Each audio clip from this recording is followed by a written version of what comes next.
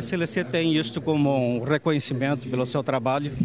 A SLC é pioneira é, na abertura de capital, foi a primeira empresa a abrir o seu capital em 2007 e desde então nós temos investido mais de 200 milhões de reais a cada ano em compras de terras, aumento de área plantada, é, sendo que hoje temos 309 mil hectares de áreas próprias e vamos plantar nesta safra que se iniciou 280 mil hectares.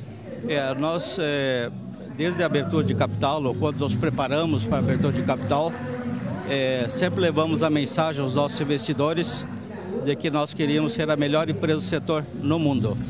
É, temos trabalhado para isso, temos é, sido muito bem reconhecidos no mundo inteiro.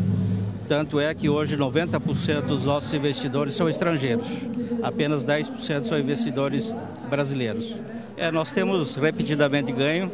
Em 2010, nós, além de ganharmos o prêmio de grãos, fomos a melhor das melhores. E a nossa meta é voltar a ser a melhor das melhores.